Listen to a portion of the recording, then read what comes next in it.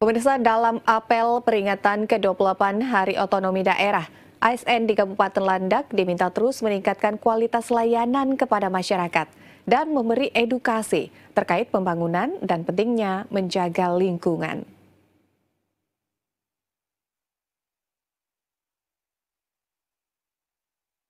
Jajaran pemerintah Kabupaten Landak turut melaksanakan apel peringatan Hari Otonomi Daerah di halaman kantor Bupati Landak. Asisten Pemerintahan dan Kesras Landak, Yonas, yang memimpin apel, meminta para ASN di Kabupaten Landak meningkatkan kualitas layanan demi mewujudkan kesejahteraan bagi masyarakat. Para ASN di lingkungan Pemkat Landak juga diminta memberikan edukasi kepada masyarakat terkait pembangunan infrastruktur, serta lingkungan untuk mewujudkan ekonomi hijau.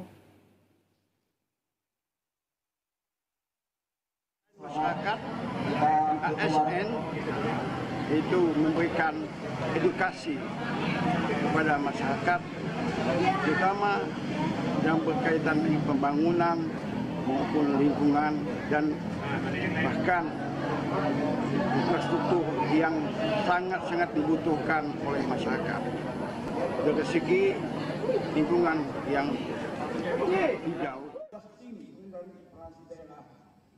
Dengan berbagai potensi kekayaan sumber daya alam di daerah melalui otonomi daerah, Yonas juga berharap bisa dimanfaatkan semaksimal mungkin untuk kesejahteraan masyarakat, terutama dalam penyediaan lapangan kerja bagi masyarakat.